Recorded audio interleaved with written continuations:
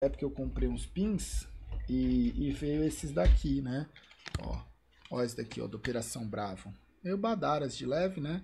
Mas aí você tem ele na vida real e dentro do jogo, né? É um item que vai pros dois. Aí, ó, troféu de adesivo de 2016 Colone, velho. É bem bonito o do Piquen, né? O redondo antes, ele era assim. Então você podia fazer o Piquen dos times que eu não mandei bem. O máximo era ouro. Eu fiquei prata nos times. E porque você tinha que ter, né? Você tinha que ter os stickers do, do, dos times, era alguma coisa assim, custava uma grana. Mas o do Fantasy tinha, ó.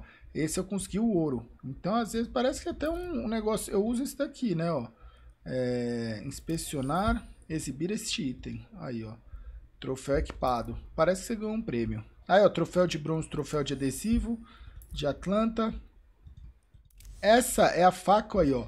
Ferrugem 777, ó um membro da tribo, aí um irmão da tribo, foi a minha primeira faquinha. Eu falei que, cara, as primeiras duas faquinhas que eu ganhasse, eu nunca mais ia tirar do inventário, né? Então a Ferrugem 777 e tem a Estico também. Então as, na época que nem tinha nem faquinha, velho, lá 2018.